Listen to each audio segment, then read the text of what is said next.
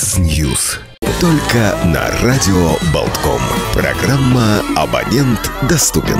Участие слушателей обязательно. Добрый день, уважаемые радиослушатели. В эфире программа «Абонент доступен». В студии Анна Смирнова. Мой соведущий Вадим Родионов э, сегодня отсутствует, но он вернется к нам завтра. На прямой связи по скайпу наш сегодняшний гость, американский журналист Майкл Бом. Здравствуйте. Добрый день. Напомню, телефоны прямого эфира в нашей студии. Вы также можете звонить, задавать вопросы. 672 12 93 9 и 672 13 93 9. Телефоны прямого эфира. Также можно нам писать в WhatsApp 230 6191. Оставляйте свои комментарии. Вопросы также я их буду зачитывать э, в рамках нашего эфира. А, сегодня мы поговорим а, о российско-американских отношениях, конечно, о их потенциале, также об актуальных а, политических в том числе темах, но хотела бы начать с одной из ваших статей с названием, называется она «Почему русские не улыбаются?». Вот вам за тот период жизни в России удалось понять, почему это так? Ну, э, я, я написал, что если, э, если взять мегаполис Москва, я, я не считаю, что Москва сильно отличается от Нью-Йорка. Uh-huh. Любой, э, любой человек, который был в Нью-Йорке, э, одна и та же проблема. То есть я думаю, что это издержка мегаполиса, из, э, когда, все, когда 10 или 15 миллионов человек э, на э, сжатой территории, это, это приводит именно к Э, отсутствие или к тому, что люди меньше улыбаются. Поэтому э, здесь э, это, я бы не сказал, что это российская особенность. Uh-huh. А если взять экономические составляющие, но может быть это, если не, не брать Нью-Йорк, не брать um, Москву, может быть экономические составляющие, я имею в виду того, что уровень жизни, жизни несколько ниже в России, может быть это влияет на то, что россияне вне Москвы улыбаются меньше. Но я, дум, я думаю, что это я не открываю Америку, что уровень жизни и улыбка – это связанные вещи. Но вам пришлось меняться, а, интегрируясь в российское общество? Ну, что касается той же улыбки, например. Um, нет, я не улыбаются меньше, um, находясь уже 20 лет в России. Um, как улыбался uh, первые мои, я не знаю, 30 лет существования на свете я улыбаюсь и в России. То есть Россия не, скажем так, в кавычках, заразила меня а, этим. Все хорошо, я чувствую себя комфортно, уютно, а, хорошо в Москве, в России, и поэтому у меня нет причины не улыбаться. Но когда вы переехали в Москву, это было в начале 2000-х, если я не ошибаюсь, а вы не знали тогда русского языка? Насколько Нет, чуть сложно? раньше, чуть раньше, 97 год, да. но неважно. Вы тогда не знали языка. Насколько сложно было его выучить? Насколько в короткий Нет, срок я, это удалось? Я знал, конечно. Я, я занимался русским языком в Америке. Mm-hmm. но, конечно, не на том уровне, который сейчас. у меня есть сейчас, да. да, потому что 20 лет, и я до сих пор занимаюсь эм, с учительницей, то есть с несколько раз, один раз, два раза в неделю, это как подготовка к передачам. Эм, я излагаю все мои позиции, она поправляет э, ошибки. Вот это процесс э, бесконечный, поэтому это очень важно. Просто жить здесь этого мало, надо заниматься этим, э, то, что я пытаюсь делать. Но вам удалось сегодня стать частью российского общества эмоционально, может быть, психологически тоже? Часть, но я не знаю, я все равно я американец, конечно, со своим мышлением часто говорят, что я обрусел в э, некоторых областях, может быть, чуть-чуть пофигизм, а, российский пофигизм и авоз а, появились в моем характере, которого не было, когда я был в России.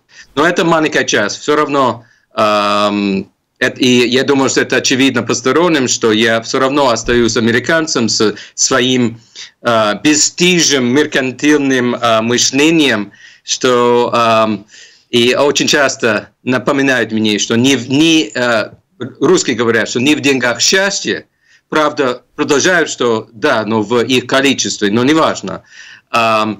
Поэтому в Америке мы, конечно, не стесняемся, что мы меркантильные, а высокий уровень жизни это для нас очень важен. Я думаю, что а, россияне а, лукавят, когда они говорят, что нет, нет, нет, это э, у нас духовные ценности. Я, я не очень верю в э, эту формулировку. Я думаю, что все люди одинаковые, все хотят жить хорошо, хорошо в смысле хороший дом, хорошая ну, стабильность, хорошее сбережение. Это все, они универсальные ценности, за, за редким исключением. Насколько, на ваш взгляд, та политика, которую сегодня проводит Россия, проводит, в частности, и президент России Владимир Путин, отражается на восприятии россиян в той же Америке за рубежом? Ну, я думаю, что американцы, как и россияне, отличают э, внешнюю политику от народа. Я думаю, что это очевидно. Что одно дело говорит о американцах, э, особенно о средних американцах, которые, которые далеки от э, внешней политики, и э, и прагматичная, и э, зачастую циничная, циничная внешняя политика Вашингтона – это две разные, э, две разные вещи.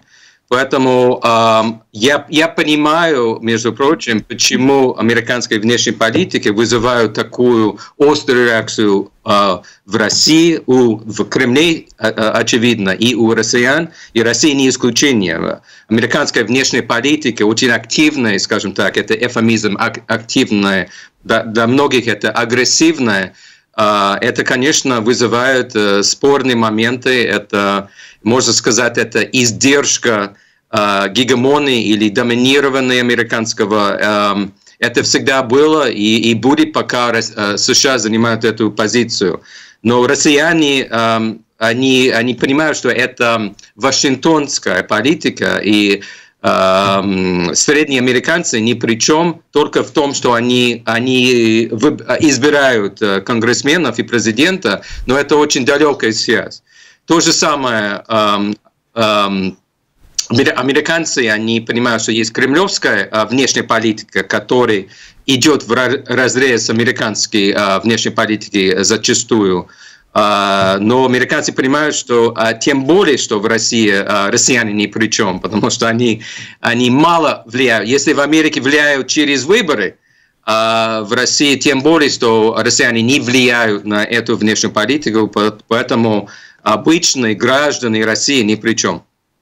Ну вот тема, которая сегодня объединила, наверное, без преувеличения весь мир, а, независимо от политических симпатий, это коронавирус, а, который в том числе был зафиксирован и в США, были вспышки зафиксированы. Как реагируют сегодня американцы? Насколько вам вот известна а, реакция на происходящее? на вспышку вируса Китае? Я бы сказал глубокая озабоченность, пока нет паники, потому что, по-моему, только один случай. А, я, я могу ошибаться, надо каждый, каждый час надо проверять, mm-hmm. сколько случаев, но um, у нас нет, как вы знаете, у нас нет границы с Китаем, а у вас огромная граница с Китаем, поэтому я думаю, что Россия более озабочена этой проблемой.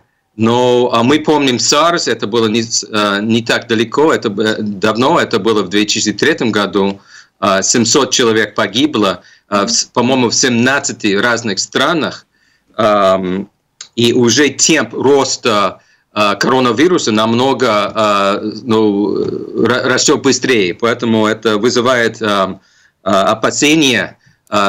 И есть экономические составляющие, это тоже. Мы видим, что, понимаете, если сравнивать Китай 2003 года, по-моему, их доля ВВП была ну, я не знаю, э, меньше 10%, а сейчас намного больше. То есть это совершенно другой Китай.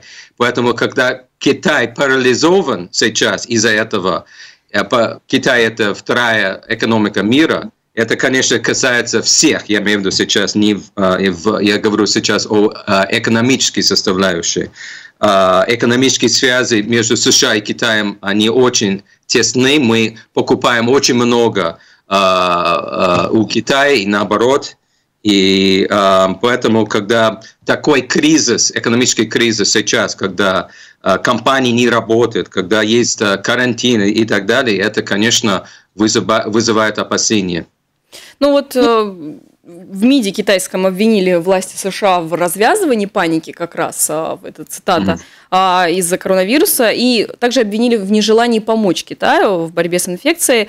Так как были депортированы, насколько известно, из Китая американцы, ну, эвакуированы, скажем так, наверное, да, будет корректнее, а, из Китая американ, американские граждане, насколько справедливы эти обвинения вообще в адрес а, США со стороны китайского МИДа, как вы считаете? Я думаю, что это острая реакция, гипертрофированная реакция Китая. Лучший вид защиты – это нападение. Они, конечно, китай, а, китайское руководство было поймано некоторым бездействием, медленным действием – и они должны оправдаться. И очень, очень много, но считается, что они скрывают очень много. И поэтому условный рефлекс – это обвинить других, а, и Америку в том числе. Тем, тем более, что старые счеты у Китая против Америки – это из-за из-за пошлины, огромной пошлины, огромной пошлины, которые а, Трамп ввел. Поэтому я думаю, что здесь э, больше это э, преувеличено, чем реальность. Напомню также телефоны прямого эфира 672-12-93-9 и 672-13-93-9. Вы также можете звонить, уважаемые радиослушатели. Американский журналист Майкл Бом с нами э, на прямой связи. Вообще можно сказать, что 3 февраля, то есть в получается, что вчера да, стартовала президентская гонка, э, выборы претендентов на пост президента США от Демократической партии. А, каковы шансы у кандидатов, на ваш взгляд? Мы знаем, что и Майкл Блумберг также будет э, баллотироваться. Вот как оцениваете шансы кандидата? А, у Блумберга мал, мал, маленькие шансы. А, я думаю, что это между Сандерсом и э, Байденом. Это, это ведущие кандидаты. Я считаю, что в конечном итоге Байден будет э, избран кандидатом от Демократической партии. Uh-huh. Но Байден все равно слабоватый в качестве кандидата. Пока экономика растет, то есть это рекордный, рекордный период экономического роста в Америке, это коронавирус может повлиять, если, допустим, не будет э, сильного, не будет сильный упадок, спад экономики, до ноября, когда выборы будут, тогда у Трампа хорошие шансы на переизбрание. Импичмент, конечно, все знают, что импичмент не пройдет, и наоборот, это, скорее всего, оправдание в Сенате, в суде, это пойдет ему на пользу. Uh, но самое главное не импичмент, самое главное, конечно, это экономические факторы, и они настолько хороши показатели, что uh, я, я не согласен с тем, что это, это заслуга Трампа, а, может, но в какой-то степени, а, мне кажется, ему повезло просто. Он стал президентом именно в пике а, естественно закономерного экономического цикла роста. Ему во многом повезло, но все равно это вознаграждается избирателями в выборах, когда есть такой очень хороший, феерический, я бы сказал, экономический рост и показатели. У нас есть звонок, радиослушатель на линии. Здравствуйте, слушаем вас. Э, добрый день, Александр. Да, здравствуйте. Майкл, скажите, пожалуйста, вот удастся вам оранжевую революцию в Беларуси сделать так же, как на Украине и в Грузии? Или не удастся? Как вы думаете? Спасибо. Да, спасибо вам. А Беларуси, ну, по всей видимости, да. Я, естественно, не согласен с формулировкой вопроса. А, не США сделали оранжевую революцию, а, ни в Грузии, ни на Украине, а украинцы сделали это волеизъявление народа, а это глаз народа. Но а что касается Беларуси, это очевидно, что Лукашенко, он разыгрывает американскую карту против России, он чувствует вот это давление а, России, и когда он чувствует э, именно острую фазу давления с Россией, он сразу это э, посмотрите на, на все его годы, когда он был президентом, он сразу бежит к Западу, не обязательно к США, но к Западу. И это его залог, это его, э, скажем так, страховой полис против э, российского давления. Это пока еще это работает. Это это действительно сдерживает Россию. Он сейчас говорит о покупке американского, американского газа. Э, он все равно он хочет, ну, как бы разыгрывать США против России, он все равно хочет быть независимым центром, и а, он не хочет быть а, марионетки ни США, ни России. Он хочет быть а, независимым центром, и я думаю, что ему удастся. Другое дело, что он не вечен. сколько лет он во власти? Я не знаю, сколько лет у него остается. он, он не вечен, но пока он во власти, я думаю, что он будет независимым центром. У нас еще есть звонок. Здравствуйте, мы слушаем вас. Добрый день. Добрый день. Я вот хотела сказать по поводу улыбки. Вы знаете, есть такая русская пословица «Смех без причины – признак дурачины». То есть в России всегда было, не было принято улыбаться э, постоянно кому-то где-то. Улыбались, нравится что-то, радостно все. Но постоянно на улице, как нам внушали, улыбаются только идиоты. То есть люди не, не очень умственно полноценные. А по поводу денег, вы знаете, до сих пор я знаю людей, для которых духовное состояние дороже, чем деньги. То есть не, не в деньгах счастье. Вот у меня тоже, я бы сказал, не то, что не в деньгах счастье, а не только в деньгах счастье. Вот я бы хотела книжек побольше покупать. Вот имея деньги, я бы хотела книг больше покупать, театры ходить, все. То есть действительно вот есть люди до сих пор, вы, наверное, не встречали, что ли, таких, что для которых духовная жизнь выше, чем деньги. Спасибо. Да, спасибо вам. Ну вот такая реплика, скорее, отвечаю, ну, продолжаем вашу мысль в начале интервью. Да, я, я согласен с, с слушателем, что а, смех без причины или улыбка без причины, то это, это универсально, это в Америке тоже. Если бы человек без причины вдруг ни с того ни с того начал улыбаться или смеяться, конечно, это вызвало бы э, ну, реакцию со стороны. А я, я, я, когда я а, а, улыбаюсь, я улыбаюсь, э, но с причиной, поэтому это не ко мне. А что касается... Да, я согласен с, с ее формулировкой, что а, она, она, это, это хорошая формулировка, что а, счастье не только в деньгах. Я, я согласен, но деньги это занимают, безусловно, очень важную роль в благополучии, я бы сказал, в счастье. Но это, это не единственное. А, я помню анекдот Билл Гейтса, он сказал на этот счет, недавно он дал интервью, он, его состояние где-то 70 миллиардов долларов – и он сказал, он как бы полушутя, он согласился, он сказал, что да, не в деньгах счастье, потому что я помню, когда у меня было состояние 60 миллиардов долларов несколько лет тому назад, а сейчас у меня 70 миллиардов долларов, и они намного э, счастливые с этим, этими дополнительными 10 миллиардов долларов. То есть он хотел показать, что не в деньгах счастье. То есть, Но он а, был моложе, когда у него было 60. Что? Был и моложе, когда у него было 60. Ну, я говорю, нет, я не, это было не, не совсем давно, это было 5 лет тому назад. Еще у нас есть звонок, слушаем вас. Добрый день. Добрый. Майкл, скажите, пожалуйста, такую вот вещь. Байден э, в своей книге э, там, э, рассказывал о том, как по его требованию э, сняли прокурора, э, генерального прокурора Украины, и иначе он угрожал, что миллиард Украина не получит.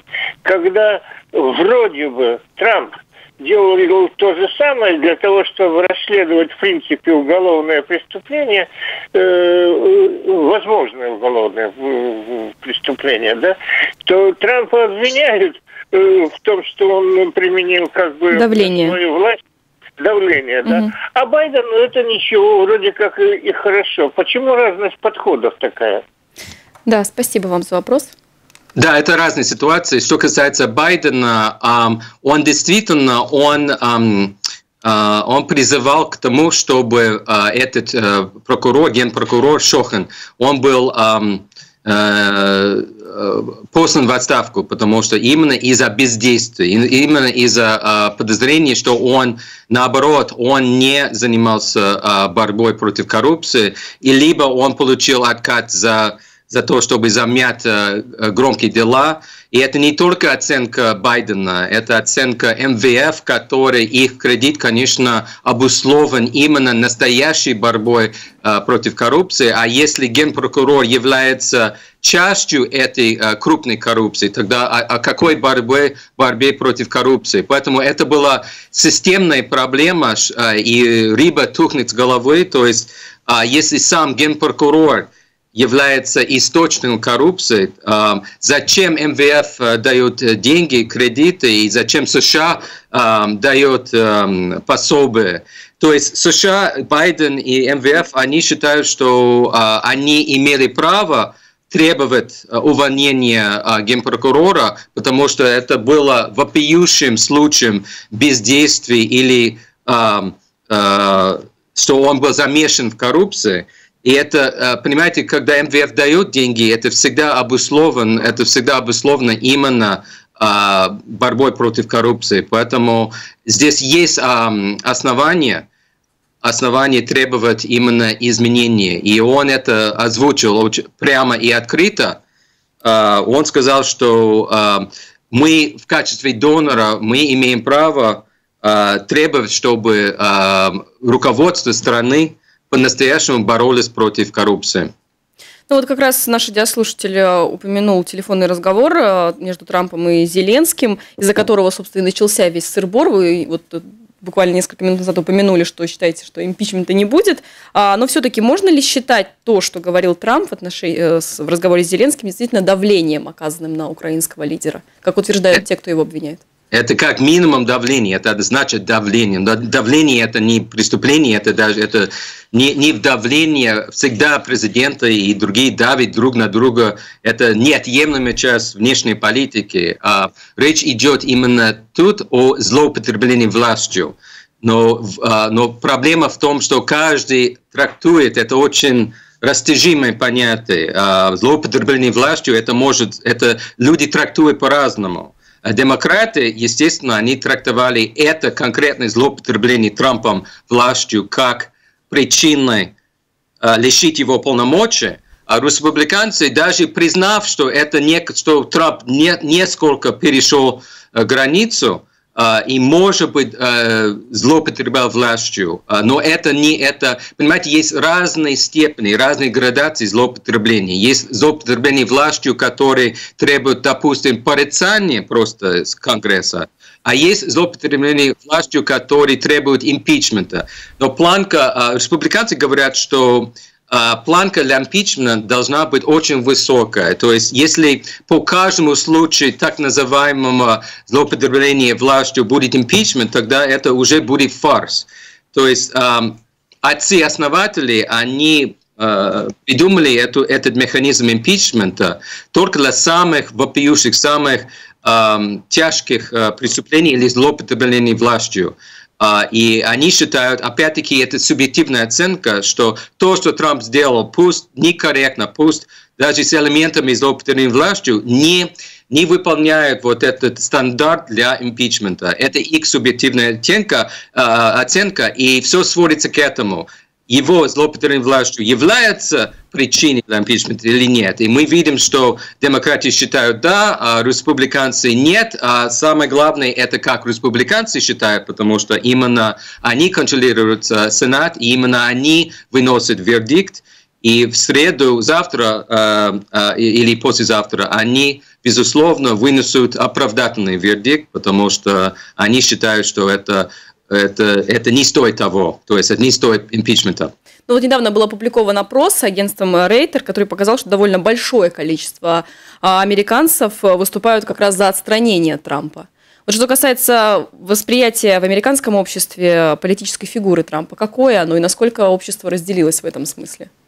Ну да, а, американское общество не было а, так расколото, как сейчас, но у нас не было такого, скажем так, вызывающего президента, э, скандального президента, который э, навлекает на себя все эти неприятности по своей э, вине. Поэтому э, э, уровень расколотости общества это прямо отражает именно уровень скандальности Трампа. Э, но я бы сказал, что расколото примерно 50%. 50% процент неопределившихся это от 5 до 10 процентов. Именно они определять эм, выборы в ноябре. Эм, а, что касается отстранения, я, я, я опять, я думаю, что это 50-50%. Я не думаю, что большинство считают, что Трамп, эм, что надо лишить Трампа полномочий, они считают, что да, это злоупотребление властью, безусловно, но лучший механизм решить эту проблему, это тем более, что дело, не, дело за малым через сколько месяцев, через 6 месяцев с большим будет, будут выборы. Это самый лучший способ в данном случае лишить его власти. Импичмент не для того. Импичмент это, это если, воз, если взять преступление Никсона, это хорошее, хорошее сравнение, потому что это не только злоупотребление властью, это именно прямо прямые тяжкие преступления. Для этого импичмент был предусмотрен, был заложен в Конституцию. Конечно, все злоупотребления Трампом властью это намного ниже этого, этого стандарта. И я думаю, что большинство американцев понимают, что парадокс в том, что именно демократы злоупотребили свою властью, потому что у них есть полномочия затевать импичмент, но не, не по таким относительно мелким делам. То есть они, получается, злоупотребили своей властью в Конгрессе. То есть начало импичмента – это уже злоупотребление. Можно это так расценивать и интерпретировать. Но в данном случае, да. Когда, когда это касалось эм, Никсона, хотя угу. дело не хотя, дошло да, до импичмента, да, он понял, что он, у него э, э, э, он, он был виноватым, виноват, он ушел в отставку. Да. Но а в данном случае да. У нас еще есть звонок, мы слушаем вас. Здравствуйте. Здравствуйте. Меня зовут Наталья. О, я так рада, что у вас такой гость сегодня великолепный. Я начну с комплиментов, потому что если бы Майкла не было на ток-шоу России, эти бы ток-шоу никто бы не смотрел. Потому что все смотрят и любуются этим интеллигентным, культурным человеком. Спасибо. А вот, нет, это так есть, вы знаете про себя все сами, это, но я должна вы, была это вам сказать лично. Вы смотрите эти передачи, да? А, да, иногда включаю днем, они фоном идут, но я говорю, там э, мы смотрим на вас, потому что э, там вам нет конкурентов на этих шоу, понимаете? Нет, почему? Дело... Есть другие американцы, ну, ну ладно, спасибо за комплимент, очень Нет, приятно. Другие, другие американцы так не знают э, русскую культуру и нюансы языка. Вы настолько уже, если можно так сказать, обрусели. Скажите, как вы себя чувствуете в России? И, может быть, вам уже в России уютнее, чем в Америке? Скажите вот о своих ощущениях вообще русского мира, русской культуры, потому что вы для нас абсолютно наш человек, понимаете? Вы иногда в студии рассказываете людям, русским, какие-то такие вещи, которых они и не знают, я, я так полагаю. И еще такой один вопрос, ну, уже такой реалистичный к вам. А вот э, коронавирус, мы сейчас все ужасно боимся э, и переживаем. А нужно ли его бояться? Знают ли мировые правительства что-то больше, чем они говорят людям? Или это только паника? Да, спасибо, спасибо вам. вам. Да, ну, я, да. я хочу ответить. Спасибо еще раз за очень теплые, теплые слова. Мне очень приятно. Um, и это как раз это одна из причин, почему как раз я чувствую себя очень уютно в России, потому что есть такие слушатели, зрители, которые так тепло ко мне относятся. Это одна, хотя, конечно, я хватает э, злобных людей, которые постоянно говорят, идите домой. А, мягко говоря. Но а, это везде есть, есть злопыхатели, есть, есть другие. Но действительно я чувствую себя очень уютно и комфортно в России, потому что это именно я, я Россия вет, то есть я учился, я, это мое образование, именно русский язык, русская культура, российско-американские отношения, политика. И поэтому для меня, чтобы ну, работать по специальности, единственный вариант для меня – это работать в России. А, конечно, можно работать русским специалистом, Россия ведом в Америке, но это, это не то. Это, а, а, я считаю, что надо, надо быть в России, надо окунаться в русский мир, надо ходить на эти передачи и полностью окунаться и русский язык, и русская культура, русский, русский мир.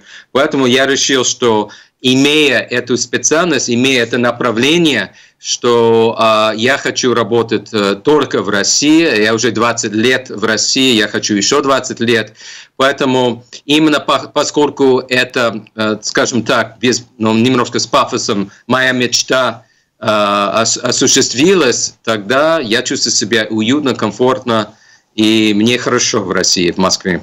Ну, что касается коронавируса, мы с вами уже это обсудили немного в начале интервью. Есть ли что, то, что скрывают э, политики, как спросила наша радиослушательница? Но мы не, мы не знаем, потому что китайские, э, китайские власти вообще они, они скрыты, они никогда не, не все э, скрывают. И, и когда есть кризис такого масштаба, тем более это одна из, из, из держек Э, закрытого общества, на то оно закрыто. Поэтому э, мы не знаем, мы, мы не можем доверять э, китайским властям. Э, вообще нельзя э, доверять властям э, не, не, не, везде, особо, но тем, тем более закрытые власти, тем больше нельзя доверять им. У нас еще есть звонок, много радиослушателей. Здравствуйте. Да, мы слушаем вас. Здравствуйте. Здравствуйте. Э, Майкл, я часто бываю в Америке, и мне нравится ваша страна. Мне симпатичны вы, как э, российский американец. Э, скажите, пожалуйста, вот я здесь, в Латвии, очень часто сталкиваюсь э, среди русскоязычного населения с некой демонизацией Америки а равно как сталкиваюсь э, в Америке с э, демонизацией России. Как вы к этому относитесь и как вы считаете, что мож, как с этим можно бороться, как это можно э, как бы заглушить? Спасибо. Спасибо вам. Ну, это чистая политика всегда была так, есть и будет. Конечно, политики Вашингтона пользуются российской картой, демонизируют, раздувают российскую угрозу для, для своих политических целей. А, точно так же, или я бы сказал, а, похлеще, российские политики пользуются американской картой, демонизируют Америку для своих политических целей, что, чтобы консолидировать народ, чтобы сваливать все беды на Америку. Это старый но продуманный и проверенный э, прием э, со советских времен еще работает, и поэтому мы видим эту демонизацию на российском телевидении, и не только. Э, но американцы тоже американская власть, скажем так, э, грешна этим. Я бы сказал в меньшей степени, но все равно грешна. Это настолько это влияет на общественное мнение. Я думаю, что в Америке в меньшей степени, чем в России, потому что захват телевидения и именно масштаб а, а, российской пропаганды намного, то есть это со всех сторон демонизация а, Америки со стороны российской пропаганды масштаб больше. Тем более, что э, вот это острый период по поводу вмешательства, э, российского вмешательства в американские выборы, этот этап, острый этап прошел.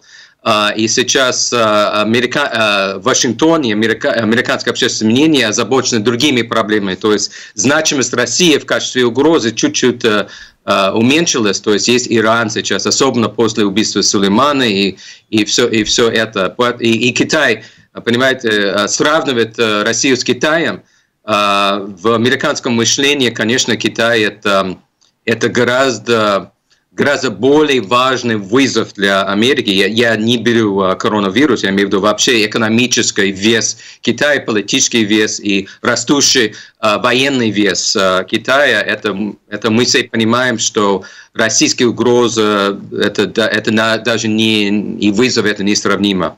Ну, как раз в связи с обострением ситуации на Ближнем Востоке, отношениях э, Ирана и США, выступал в нашей студии э, советник премьер-министра Израиля Арик Бульштейн, он сказал, что США и, в частности, Трамп э, вообще, в принципе, не хочет быть полицейским всего мира и хочет всячески откреститься от этого ярлыка, который был навешен. Вот согласитесь с этим? Но, безусловно, это именно главный девиз э, Трампа угу. что он э, Америка на, на первом месте, Америка прежде всего. То есть он не понимает, почему э, США вбухивают сколько денег по всему миру. Вот эти бесконечные американские базы, это 47 тысяч американских солдат на Японии. И когда Япония платит всего лишь половину, половину этих расходов, он этого не понимает. Он не понимает, что это базовый принцип американской, американской внешней политики, что это именно э, сила как гарант мира, что это дивиденды от этих расходов, они окупаются для Америки в разных формах, в разы. Он этого не понимает. Он смотрит на внешнюю политику как на бухгалтерский э, баланс. То есть он смотрит, сколько а, обходится Америке, когда а, Америка содержит 47 тысяч американских солдат в Японии, сколько Америка получает. Если есть минус, тогда он против. Он дальше этого очень примитивного расчета он не видит. Поэтому э, он считает, что Америка не, это слишком дорого быть э, жандармом. Это, и это не, это не приносит э, никаких дивидендов, только проблемы, только войны и так далее. И это, это, э, поэтому он хочет э, сворачивать э, много из, из, этих, эм, из этой деятельности по всему миру и сосредоточиться на американском развитии внутри Америки, инфраструктуры и так далее, благо, благополучие американцев. Он считает, что все эти расходы и базы, и это, это за счет американского благополучия. Это, наверное, это ласкает слух России, потому что Россия точно так же это говори, говорила и говорит уже, э, я не знаю, со советских времен. Поэтому а, почему позиции Трампа и Кремля так а, сходятся, зачастую сходятся, потому что именно эти, эти лозунги, это именно то, что, то, что а, Россия агитирует. Ну, что касается убийства иранского генерала Сулеймани и дальнейшего запуска иранских ракет по базам США в Ираке, как вы оцениваете случившееся? Вы тоже об этом упомянули вот только что. Да, это очень спорный вопрос. А, э, здесь я могу, я, я для себя э, пока не определился, потому что это классический пример, когда можно говорить с одной стороны так, а с другой стороны, э, то есть с одной стороны действительно это крупнейший известный мировой террорист, неважно, что он занимает официальную должность в стране члене ООН, а, я напомню, что Гиммлер, э, Генри Гиммлер тоже занимал э, официально государственный пост, когда, но очевидно, что он был террористом и, э, и преступником, и он подлежал тогда ликвидации. И по этому принципу Сулейманы, с одной стороны, по определению подлежал ликвидации. С другой стороны, это, это явное нарушение международных норм, а, поскольку одно дело, когда Бен Ладен, это понятно, да, а, и то а, многие считают, что сначала надо арестовать его и судить его, то есть убить даже Бен Ладена, многие считают, без суда и следствия, это, это нарушение международных норм, это самоуправство, самодурство. Но э, если речь идет именно о втором человеке Ирана, фактически второй человек Сулейманы, э, о втором человеке в стране, члене ООН, много это уже с другой стороны, что это открывает очень опасный э, э, ящик Пандоры, что если возможно сейчас, благодаря этому, можно убивать тех, э, кого вы считаете террористом, неважно, это Бен Ладен, это в какой-то отдельной террористической группе или это в стране члена НАТО, тогда и проблема в том, что у каждого свое um, представление, кто террорист. Это не, это не первый случай. США и Израиль, естественно, и многие страны однозначно э, счита, считали Сулеймани террористом, но Россия так не считает. И это много, много таких примеров. Например, сирийские курды, они террористы или нет? Эрдоган считает их террористами, США нет. А, Закаев в Лондоне или Дудаев, а, а, Дудаев был террористом, Россия есть, считала, что да, а многие нет. А Закаев в Лондоне, когда он получил убежище, он террорист? Понимаете, очень много, много нюансов, и все сводится к этому. К этому. Если это однозначно Сулеймани был террористом, и за ним тысячи и тысячи смертей мирных э, граждан э, в результате в результате терактов по всему миру. Если он был террористом, тогда вопрос закрыт, что он террорист, террористы подлежат ликвидации. Вот так считал um, Трамп, и он, он так решил. Но действительно он открыл ящик Пандоры, и мы посмотрим, чем это закончится, потому что Иран uh, обещал отомстить. Um, я думаю, что чужими руками, потому что у них uh, очень многие подконтрольным Ирану uh, террористические группы, Хезбалла, и американское присутствие, военное присутствие уязвимое, они там в, на Ближнем Востоке 60 тысяч американских солдат, американские базы, они уязвимы, они могут отомстить. Мы, пока, пока ответ Ирана достаточно тихий, они не, пока нет, они не отомстили, они не убили американских солдат после этого, после убийства Сулеймана, но еще не вечер. Поэтому слишком рано что это, это э, сошло с рук у э, Трампа или, э, это, это, или это вышло, э, выйдет ему боком. Мы, мы увидим. К сожалению, время наше подошло к концу. Очень много у нас звонков, не все мы успели принять. Спасибо. На прямой связи по скайпу с нами был Майкл Бом. Спасибо вам, всего доброго и до свидания. Всего доброго, до свидания.